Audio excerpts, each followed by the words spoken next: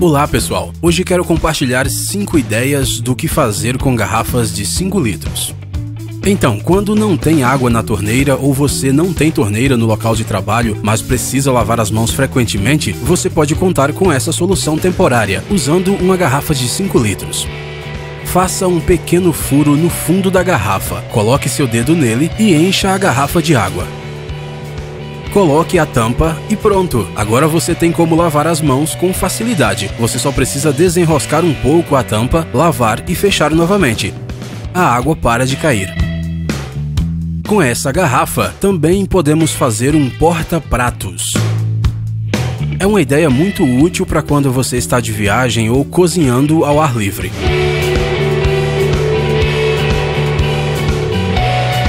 E é muito fácil de fazer, só precisa cortar a garrafa como no vídeo. Faça os cortes de acordo com o tamanho dos seus pratos. E nós não esquecemos dos garfos e colheres. Corte o gargalo e faça um furo na lateral do tamanho adequado. Daí é só encaixá-lo. E é isso, o nosso porta-prato está pronto.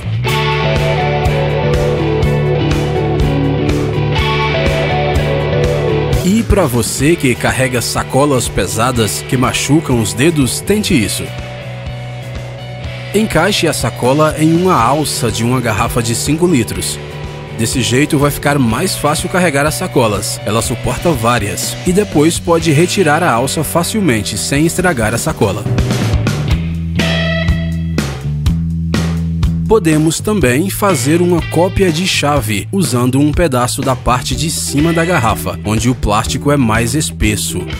Útil para quem anda perdendo chaves por aí. Mantenha a chave na chama de um isqueiro ou uma vela por alguns segundos.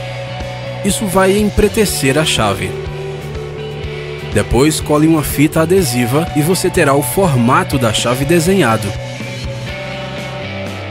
cole a fita adesiva no pedaço de plástico e agora é só recortar a sua chave reserva. Vamos ao teste. E como sabemos, o plástico não vai girar a fechadura. Para isso, você precisa de uma chave de fenda. E mais uma ideia para as alças de garrafa.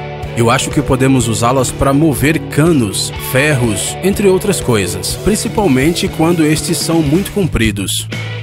É só encaixar a alça e pronto. Essas alças são bem fortes, mas por precaução podemos usar duas de uma vez.